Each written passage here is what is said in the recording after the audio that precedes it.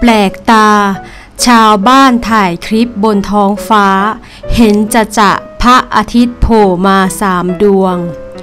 วันที่ 23 ตุลาคม เว็บไซต์รีเจียน 64 ของรัสเซีย เผยแพร่คลิปปรากฏการธรรมชาติสุดแปลกตา เมื่อบนท้องฟ้ามีดวงอาทิตย์ถึง 3 ดวง ที่เมืองซาราตอฟประเทศรัสเซีย ภาพดังกล่าวถ่ายเอาไว้ช่วงเที่ยงวัน ขณะที่ดวงอาทิตย์อยู่กลางท้องฟ้า จากนั้นมีดวงอาทิตย์อีกสองดวงค่อยๆโผล่ออกมาจากทั้งสอง ก่อนที่เมฆจะบางหายไป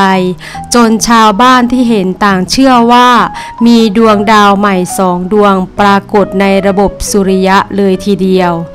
แต่รายงานระบุว่านี่คือเฮโลปรากฏการแสงที่เกิดขึ้นบนชั้นบรรยากาศ โทโพสเฟียส่วนบน ซึ่งมีกลุ่มเมฆจำนวนมากละอองน้ำในชั้นบรรยากาศนี้จะเย็นตัวจัดจนกลายเป็นอนุภาคน้ำแข็ง ลอยอยู่บนชั้นบรรยากาศ เมื่อแสงมากระทบจะทำให้แสงหักเหเป็นแถบวงแหวนสีรุง้ง หากหักเหที่มุม 22 องศา จะเป็นแถบวงแหวนหรืออาทิตย์ทรงกรด นักดาราศาสตร์ถือว่า